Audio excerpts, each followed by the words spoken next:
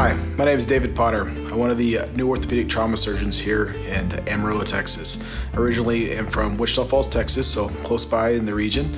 I'm here to practice uh, orthopedic trauma with pediatric and adult emphasis. I take care of all orthopedic trauma injuries, both adult and pediatrics, including soft tissue, pelvis, acetabulum, and long bone fractures. I have a video from when I was four years old that I'm videotaped and recorded saying that I want to be a doctor when I grow up.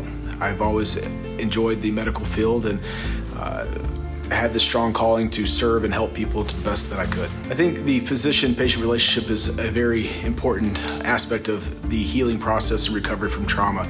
It should be an equal and shared opportunity for both patient and physician to directly take control of their recovery and their healing process. It's a two-way street the way I view it is we have to have open communication, working hard to understand each other's goals and achieve those goals together as the end result. I love my job because no one ever picks to come see me.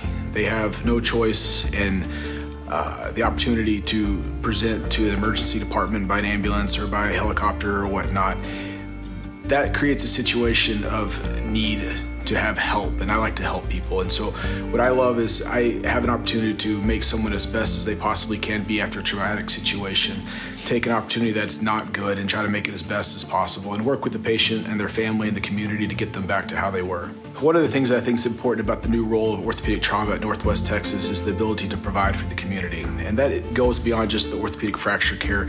It involves keeping patients in the community, close to their family, close to their friends, in their community, and help return faster to a normal lifestyle.